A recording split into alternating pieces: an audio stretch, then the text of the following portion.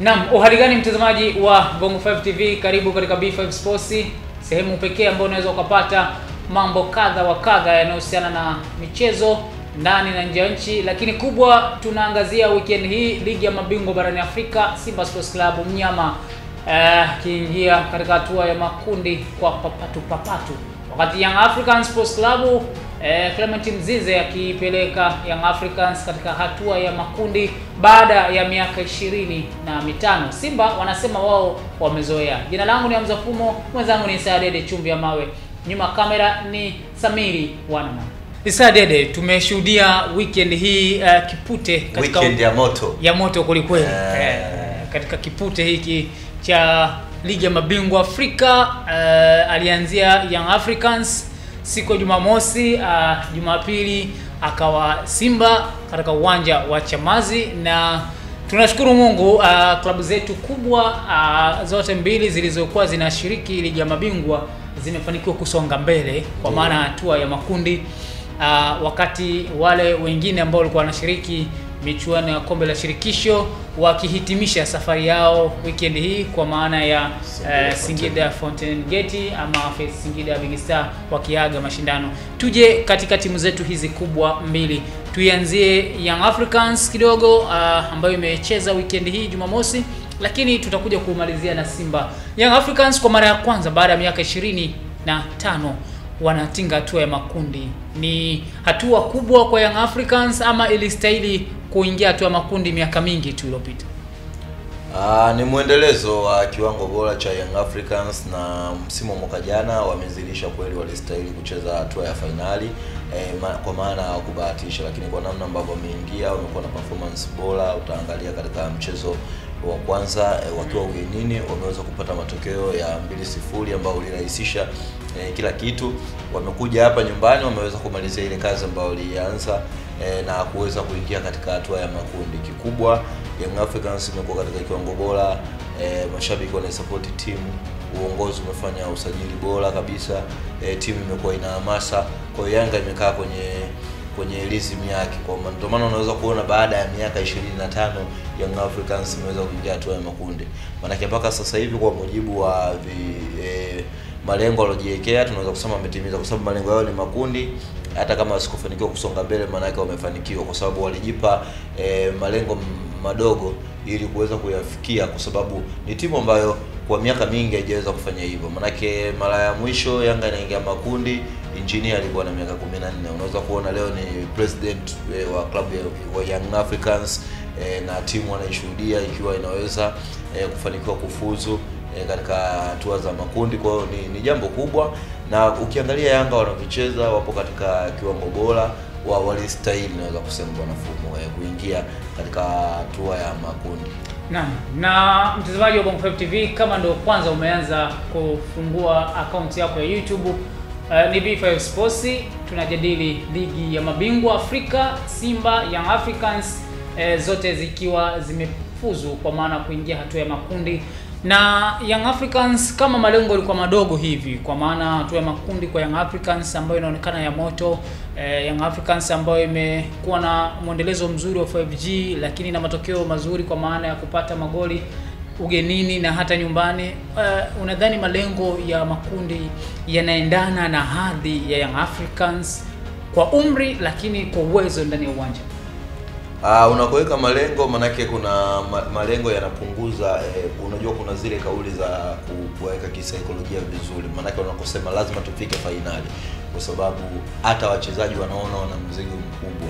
Kwa hiyo ukitazama namna ambavyo unaweza ukawapa watu pressure na wakashindwa labda kucheza vizuri, lakini ukiangalia Young Africans waliseti eh, malengo yao ambayo waliona tunaweza tukayatimiza, lakini siamini kama ndani ya Young Africans wenyewe wanataka waishie makundi, lakini baada ya kuona sasa unajipanga kwa kuweka ma, ma, malengo mengine, maanake kuna malengo ya muda mfupi na kuna malengo ya muda mrefu. Kwa hiyo maanake ushaweka ya muda mfupi na mmefanikiwa, sasa labda mnapangwa katika kundi lolote, labda mfano kundi C, unaangalia namna timu ambazo zilivyo. Kama ulimsikia e, msemaji wao alikama anasema baada ya kupangwa zile, unaangalia logistic, labda na timu za kaskazini, maanake unavyosafiri kwenda na kurudi na namna gani utacheza nazo, e, falsafa ya hizo timu unatakiwa ucheze vipi kwa hivyo vyote vinakuwa vina vinategemewa katika mchezo. Kwa hiyo Young Africans wameweka malengo ambayo e, ni- yali- eh, wachezaji kuweza kujituma na kuona tunaweza tukafanikiwa.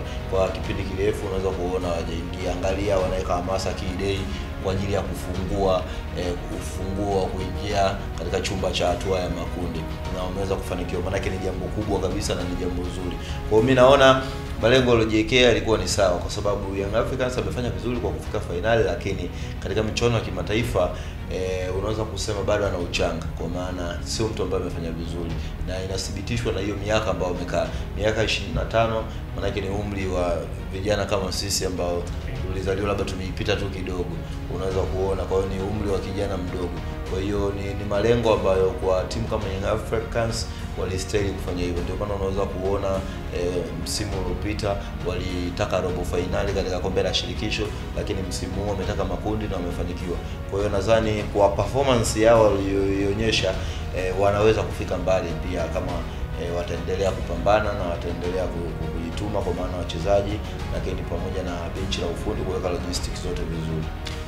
Naam, Clement Mzize ameipa nafasi kubwa sana Young Africans uh, kutinga hatua ya makundi na amekuwa na performance nzuri uh, ndani ya dakika 90 tumeshuhudia uh, nchini Rwanda, lakini pia tumeshuhudia Chamazi pale uh, na kuipatia Young Africans matokeo mazuri. Unadhani uh, Clement Mzize kuondoka kwa uh, mchezaji uh, Fiston. Fiston Kalala Mayele eh, ni fursa kwa Mzize kuonyesha kile alichonacho pengine Ah, ni fursa japokuwa hata alipokuwa Fiston Kalala Mayele bado mwalimu chini mwalimu Nabi alikuwa anampa nafasi, lakini amekuja mwalimu huyu na ameonekana kumwamini, lakini katika msimu huu amekuwa na kiwango bora sana. Maana yake overall katika mechi zote alizocheza mpaka sasa hivi Mzizi ana magoli matano, lakini ukiangalia katika klabu bingwa hii ana magoli mawili, kwa maana kule alifunga eh, katika dimba la Pele Stadium unaweza kuona, lakini hapa Dar es Salaam kafunga e, goli ambalo linawezesha timu kwenda e, kombe la shirikisho katika hatua za makundi.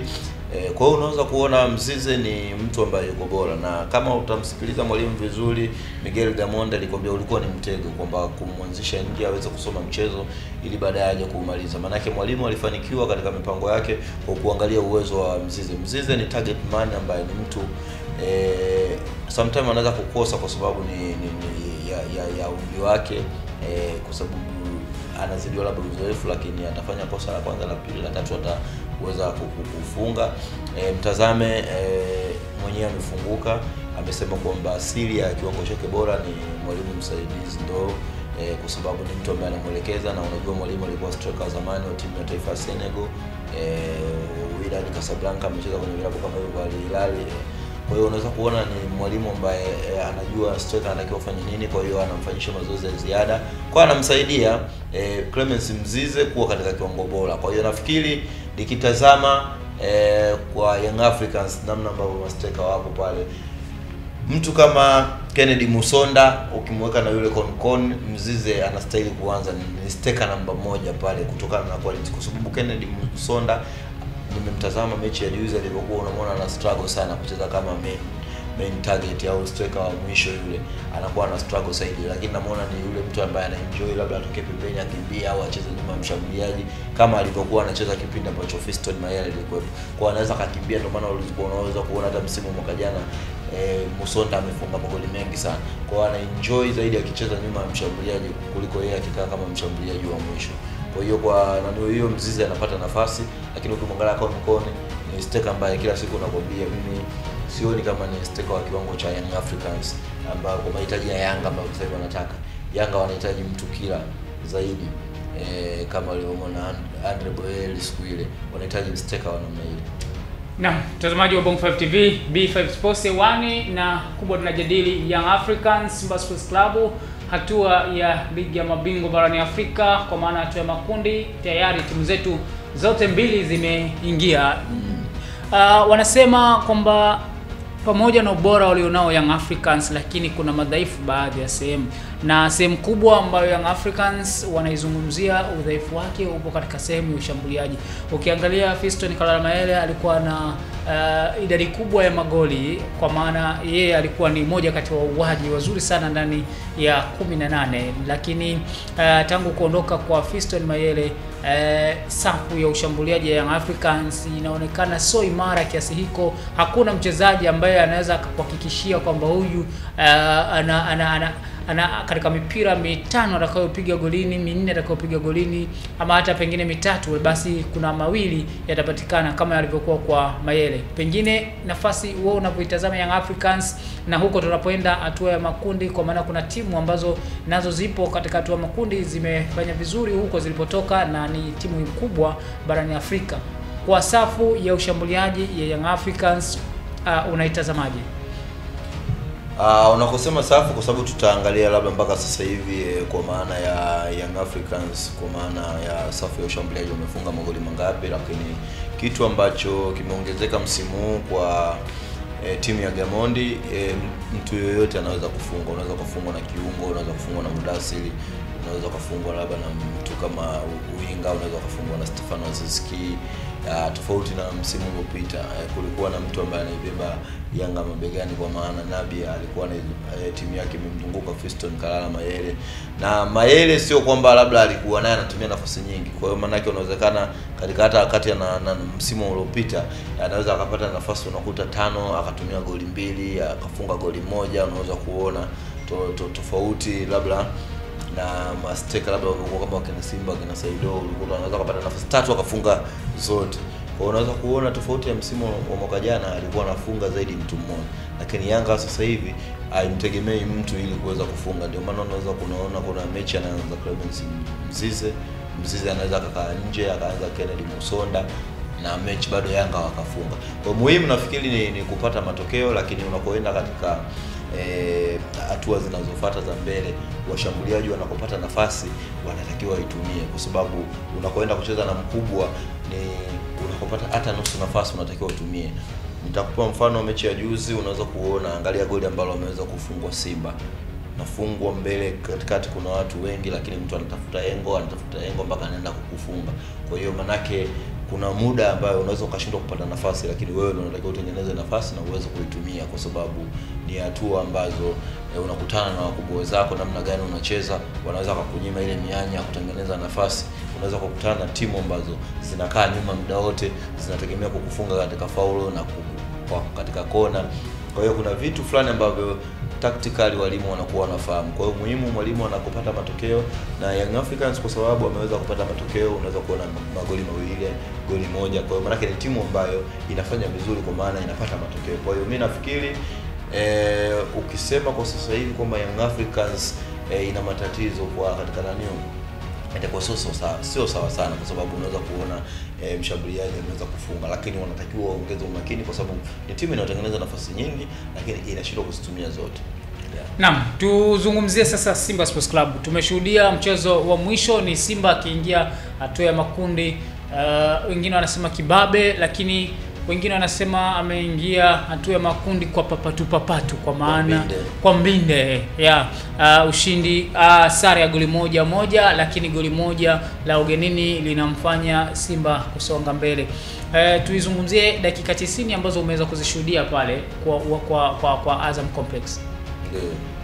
Ah, mimi nilishuhudia mechi moja ambayo ilikuwa nzuri, ilikuwa mechi moja ya ushindani sana kutokana na viwango vya timu zote mbili. Kwa Dynamo bonge moja la timu ambayo iliwapa sana challenge Simba Sports Club e, na Simba alipata mechi ngumu sana. Unaangalia katika mechi ya kule e, mchezo wa kwanza wanatoka sare ya mbili mbili, huku wanakuja kupata sare ya moja moja na Simba anafanikiwa kutinga katika hatua ya makundi. Kwa hiyo unaweza kuona ulikuwa ni mchezo mgumu e, na watu wengi wanaiona kama Power Dynamo wanaichukulia poa, lakini ina wachezaji wengi wa wazuri, kwa sababu ukiangalia wale wa masentafu wawili e, sentafu wote wale wanacheza timu ya taifa, ndio wachezaji wa timu ya taifa ya Zambia wanacheza wale masentafu wawili. Ukiangalia golikipa e, sentafu mmoja akucheza mechi alicheza mechi ya kule ambayo alipewa e, kadi nyekundu.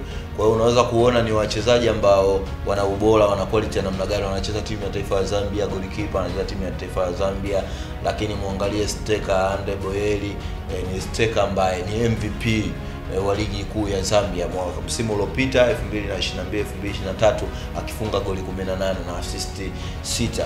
Kwa hiyo sio timu ya kubeza na sio timu ya kawaida. Kwa hiyo mashabiki wengi walikuwa wanalalamika labda kwa maana Simba e, labda ilikuwa na kiwango kibovu, Simba ijanani, lakini mimi nataka niwaambie e, Simba ilicheza mpira mzuri na unaangalia, unajua katika hatua ya knockout stage timu kubwa ndivyo ambavyo zinacheza sometimes. Tunaona hata Real Madrid unaweza kuona Wydad Casablanca katika hatua ya mwaka jana kwenda nusu fainali, Simba alicheza mpira akatengeneza nafasi hapa, Simba akaenda akacheza mpira kule, lakini mwisho wa siku unaweza kuona kwamba Simba aliondoshwa kwenye michuano. Na alikopo kocha ni huyu Robertinho. Kwa hiyo unaweza ukacheza vizuri na baadaye ukatolewa, kwa hiyo inakuwa make sense, lakini kitu muhimu kocha kuna mbinu ambazo anazitumia unapokutana na mpinzani bora. Muhimu ni kuhakikisha kwamba unasonga mbele, na hicho ni kitu kikubwa ambacho mi nampongeza mwalimu Robertinho ambacho ameweza kukimaintain, kwa sababu unaangalia Simba ni mara ya sita kuingia katika hatua ya makundi. Kwa hiyo manake unakopata mafanikio, unakofanikiwa ni ngumu sana ku, ku, ku maintain mafanikio yako. Kwa hiyo unaweza kuona Simba eh, kwa misimu minne mitano hapa wameweza eh, kufuzu katika hatua ya makundi. Kwa hiyo ndio maana Simba sio stories kubwa sana kwao, kwa sababu ni mara ya sita unaweza kuona umefuzu. Kwa hiyo mimi naona ulikuwa ni mchezo mgumu e, Simba walikutana na mshindani mgumu ambaye yupo katika ubora sana e, na Simba walitumia ukubwa na namna ambavyo timu kubwa zinafanya e, katika kuhakikisha kwamba zinasonga mbele. Mtazamaji wa Bongo 5 TV ni B5 Sports, tunajadili hapa kuhusiana na Simba Sports Club, Young Africans, timu zetu hizi za Tanzania, na katika mchezo ule uh, pengine E, tumzungumzie golikipa Ayubu. Mara nyingi amekuwa akizungumzwa vibaya na baadhi ya mashabiki, hasa goli alilofungwa kule e, Zambia e, kama sijakosea, lakini pia na goli alilofungwa kwa kwa, kwa pale Azam Complex hivi juzi. Tukimwangalia Tuki tukimwangalia golikipa wengine wakisema kwamba ni bora angeanza uh, mdogo Salim uh, Salum uh, Ali Salum Uh, badala ya golikipa. Wewe una una, una, una utazamaje uh, nafasi ya golikipa ya uh, kwa kwa Simba Sports Club? Ah, mimi golikipa wa Simba Ayubu nikimtazama sioni shida yake, sioni wasiwasi wowote kwa sababu eh, hata magolikipa wazuri wanafungwa magoli ambayo sometimes unaweza ukaa unakaa unashangaa na watu wametoa hela nyingi sana, wakina Digea, unaweza kuona kinaonana katika mechi ya kwanza e, alifungisha goli kweli la ambalo ni individual binafsi lakini katika mchezo wa juzi sioni kosa la golikipa. Alifanya alidaka vizuri, alikuwa na kiwango bora. Kama unatizama lile goli and Boyeli anaenda kufunga e, anachagua engo, manake tazama viungo wakabaji kwa maana Musamiru Yasini pamoja na Fabrice Luamba Ngoma walikuwa wanamkabia kwa macho, wanaangalia hivi, anakuja kustuka, anafanya maamuzi, ananani hivi.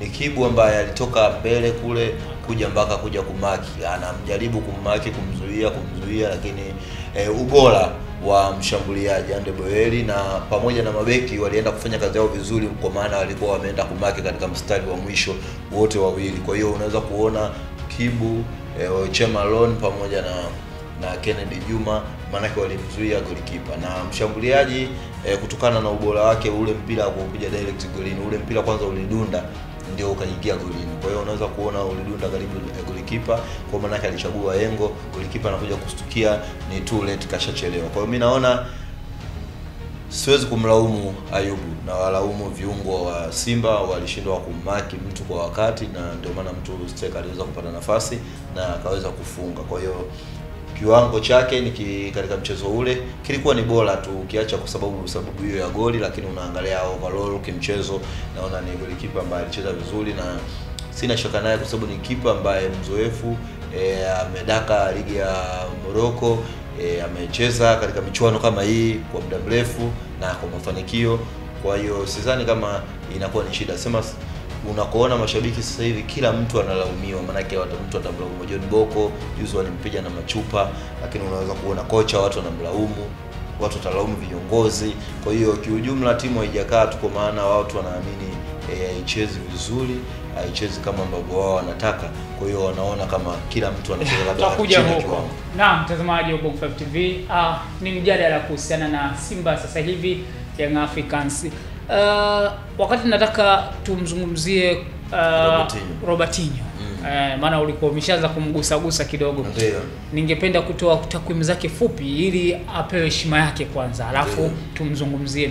Kumekuwa na mijadala sana, mashabiki wa soka wakimlalamikia kocha Robertinho kwamba pengine timu yake haifanyi vizuri chini ya uongozi wake, kwa maana benchi lake la ufundi naye mwenyewe, lakini ukiangalia takwimu zinaonekana zinambeba kocha Robertinho.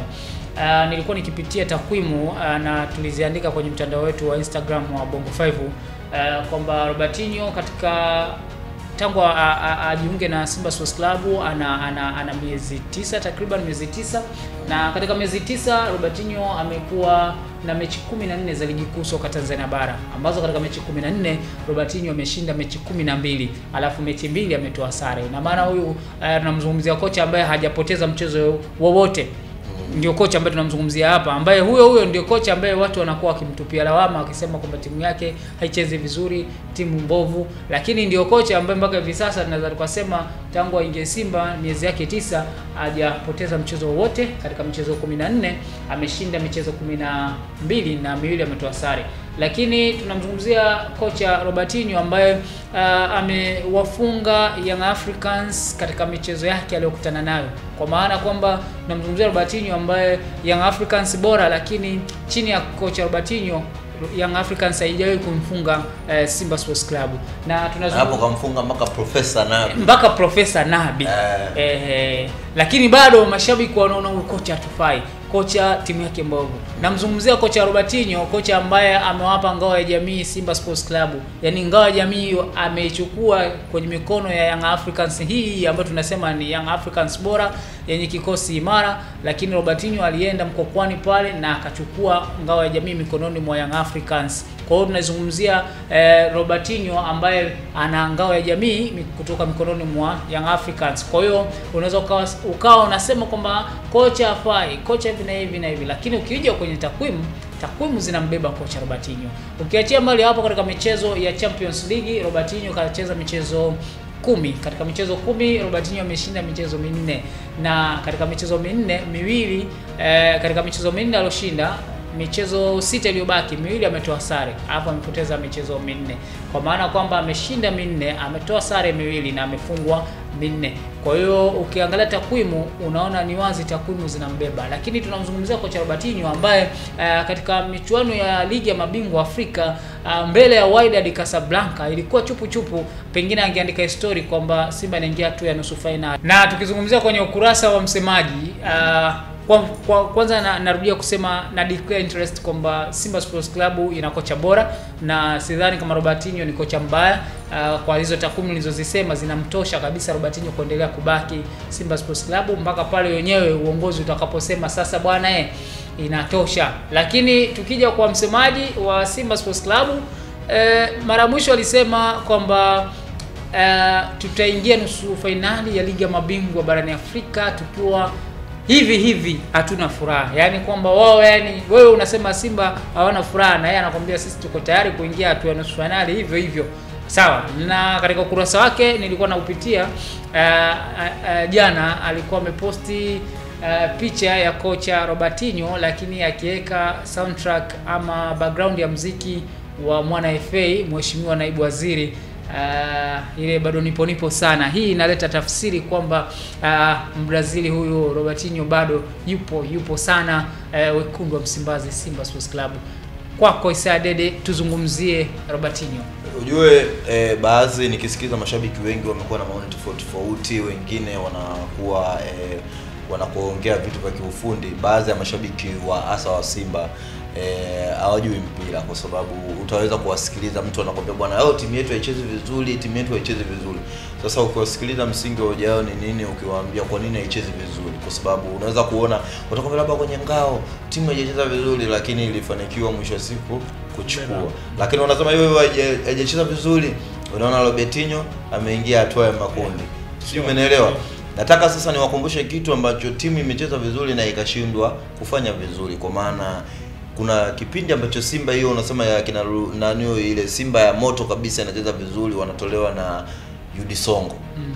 Yudi Songo anawatoa hapa, kule wametoka bila bila, huko, huko wamekuja kutoka moja moja, wanatoka mm. walikuja wamecheza hapa, ilikuwa na Jwaneng mm. Galaxy Yeah. kule wanapata goli mbili mbili Mm. kule wanatoka Mbili. bila Mm. hapa wanamfunga tatu wanafungwa Tatu moja. moja wanaondoka katika michuano. Kwa hiyo unaweza kuona ile Simba ilikuwa ya moto, ile Simba ilikuwa imecheza vizuri, lakini mwisho wa siku ikatolewa. Sawa, lakini angalia chini ya Robertinho ambayo unasema timu kwamba icheze vizuri, lakini unaweza kuona katika hatua labda kama ya ya jamii anapata matokeo, anapata anakupa kitaji.